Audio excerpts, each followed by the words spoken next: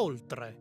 Questo è il titolo dell'inchiesta in formato podcast che si è aggiudicata la tredicesima edizione del premio Roberto Morione, riservato ai lavori di inchiesta di giornalisti e giornaliste under 30. L'autrice Beatrice Petrella ha indagato il fenomeno della comunità incel, i celibi involontari che odiano le donne. In tre puntate il podcast ha raccontato il viaggio sotto copertura in un mondo dove la violenza online sta uscendo dal web per diventare sempre più reale. Oltre è un'inchiesta che in tre puntate racconta un viaggio all'interno dell'universo incel italiano. È un viaggio sotto copertura, è un viaggio difficile perché gli incel, gli involontariamente celibi,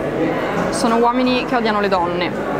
E è un viaggio lungo, per capire tante cose, ma soprattutto come uscire da questa comunità. Quando ho scoperto i podcast pensavo fossero il medium migliore per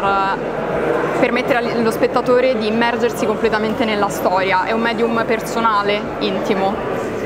e per questa storia secondo me era particolarmente adatto. Come di consueto, la serata della premiazione è stata preceduta da quattro giornate di dibattiti, proiezioni e momenti di confronto aperti al pubblico, unite dal tema Nonostante tutto, il giornalismo che non muore.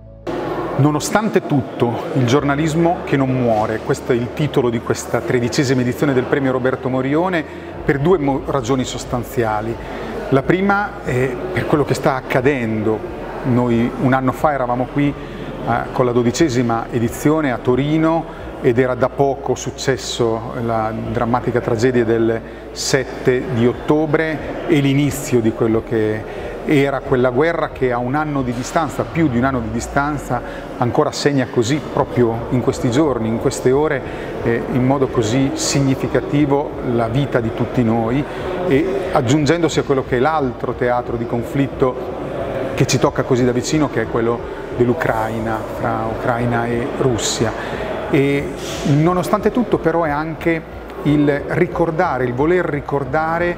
tre giornalisti, amici che eh, hanno perso la vita in situazioni, in teatri di guerra per ragioni diverse, forse davvero mai come oggi la libertà di stampa e la morte di tanti giornalisti nei luoghi di guerra è, è drammatica e quindi è importante tenere accesa l'attenzione e fare il lavoro che i giornalisti devono fare che è anche quello di denunciare quello che avviene e di cercare di eh, combattere per una libertà di stampa, per il diritto all'informazione di tutti noi, cioè di tutti i cittadini che grazie al lavoro dei giornalisti sul campo possono essere informati rispetto a quello che accade. Nella serata finale è stato anche assegnato il premio Riccardo Laganà Biodiversity, Sustainability, Animal Welfare, novità di questa edizione.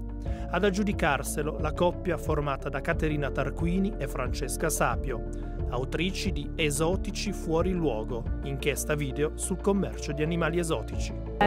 Lo spunto è venuto dal decreto legislativo 135 del 2022 eh, che non ha ancora trovato mh, piena attuazione perché mancano dei decreti attuativi e questo decreto si occupa del commercio e della detenzione degli animali esotici e quindi tutto è partito da lì, dal domandarsi poi effettivamente cosa fosse cambiato nel, nel mercato. Eh, per cui abbiamo cominciato a indagare eh, il, il, commercio degli animali esotici e quella zona grigia eh, tra legalità e illegalità che consente comunque alle persone di fare degli acquisti eh, non, non, legali e, e tutti, tutte poi le conseguenze che questo ha in primis sul benessere di questi animali e poi anche eh, sulla nostra salute. Il loro benessere è collegato al nostro benessere, nel senso che eh, parliamo di ecosistema, no? nell'ecosistema è proprio una catena,